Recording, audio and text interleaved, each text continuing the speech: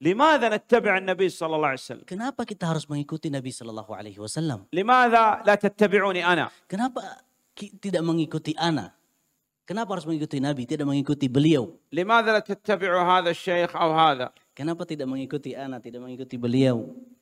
واحد لأنه رسول الله Alasan yang pertama karena baginda Nabi Shallallahu Alaihi Wasallam adalah utusan Allah.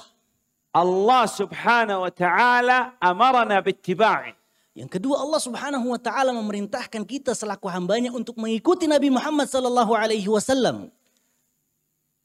معصوم عصمه الله من الخطأ في الدعوة لا يمكن أن يأتي منه خطأ ممكن يأتي من الأئمة خطأ من العلماء خطأ منا خطأ لكن منه عليه الصلاة والسلام لو وقع منه خطأ Allah Subhanahu wa taala yunabbih alaih.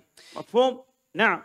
Karena beliau adalah seorang yang ma'asum, seseorang yang dijaga oleh Allah Subhanahu wa taala sehingga terhindar dari kesalahan. Adapun seorang ulama, seorang imam, dia boleh jadi terjatuh dalam kesalahan sama seperti saya dan Anda. Namun beliau apabila terjatuh dalam kesalahan, Allah Subhanahu wa taala sendiri yang akan menegur beliau. Hal yujad khata fil Quran? Apakah ada kesalahan di dalam Al-Qur'an?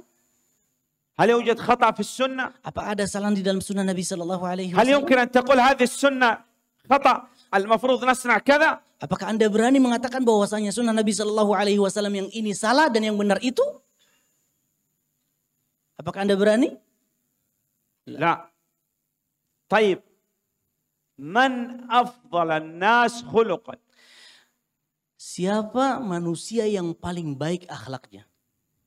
النبي صلى الله عليه وسلم Nabi Shallallahu Alaihi Wasallam افضل الناس عباده orang yang paling getol ibadahnya, النبي عليه الصلاه والسلام اتقى الناس orang yang paling bertakwa, اشرف الناس نسبا manusia yang paling mulia nasabnya. لو تبحث في كل شيء تجد ان الله سبحانه وتعالى اعطى هذا النبي صلى الله عليه وسلم افضل ما اعطى الناس Kalau seandainya engkau mempelajari dari segala sisi tentang Nabi Shallallahu Alaihi Wasallam. Niscaya kita akan mendapati bahwasannya Nabi Shallallahu Alaihi Wasallam adalah makhluk terbaik dari segala sisi.